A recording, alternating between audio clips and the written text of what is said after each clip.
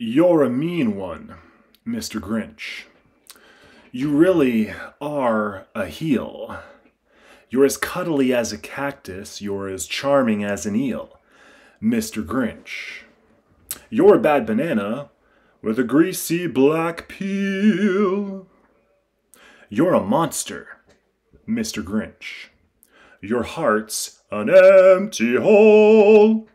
Your brain is full of spiders. You have garlic in your soul, Mr. Grinch. I wouldn't touch you with a 39 and a half foot pole. You're a foul one, Mr. Grinch. You have termites in your smile. You have all the tender sweetness of a seasick crocodile, Mr. Grinch. Given a choice between the two of you, I'd take the seasick crocodile. You're a vile one, Mr. Grinch. You're a nasty, wasty skunk. Your heart is full of unwashed socks, your soul is full of gunk, Mr. Grinch. The three words that best describe you are as follows, and I quote stink, stank, stunk. You're a rotter, Mr. Grinch.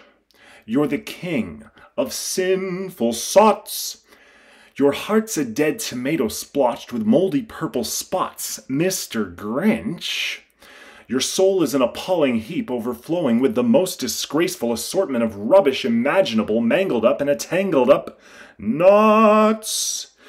You nauseate me, Mr. Grinch, with a nauseous super nos. You're a crooked, dirty jockey, and you drive a crooked hoss. Mr. Grinch?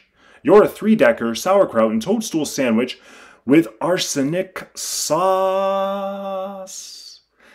Merry Christmas, everyone.